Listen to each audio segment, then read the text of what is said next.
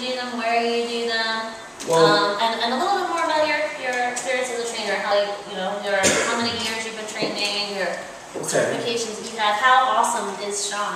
Uh, pretty awesome.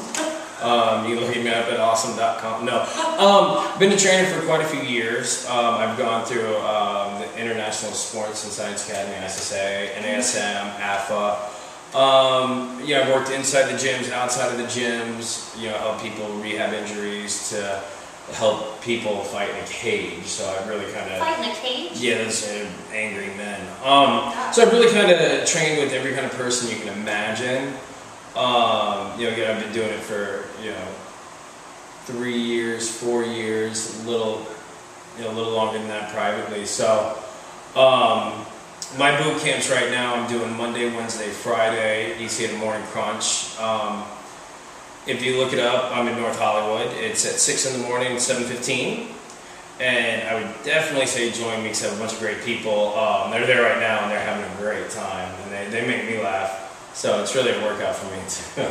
So good workout, fun and rewarding atmosphere, outdoors, and it's cheaper than a private personal trainer. Those are some of the main benefits Absolutely. of boot camp. Oh, and people, um, so I know you were trying to, uh, we didn't have enough space to do some of the partner exercises Uh-huh. today, but I know that you were putting, trying to throw some partner stuff in. Do you Mm-hmm. find that people make long-lasting friendships? in boot camp? Absolutely. Yeah? If not love. Love. Love.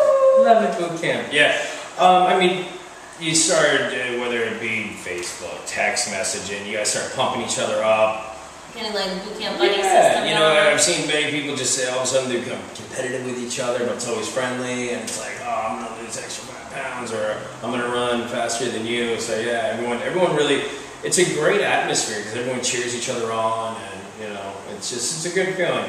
I mean, though, I, I would say the only drawback is uh, dog poop. Dog poop because it's outside. Yep. yep.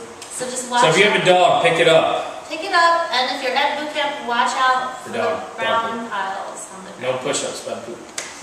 No, no poopy push-ups. All right. Well, is there anything else that you want to uh, leave our viewers with today? Any special things? Your morningcrunch.com, the website, MorningCrunch.com, North Hollywood.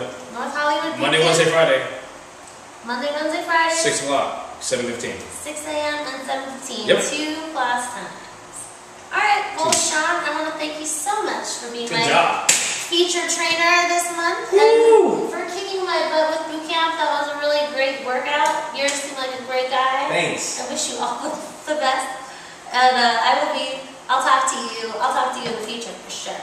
So say All goodbye to everybody. Thank you. Bye guys. I'll be back on Monday with uh, part two of our, well actually it's part four of the strength training series. We're in uh, segment two of the opposing muscle group section. We're doing back, oh sorry, biceps and triceps on Monday. So stop back on Monday for more workout. Bye everybody.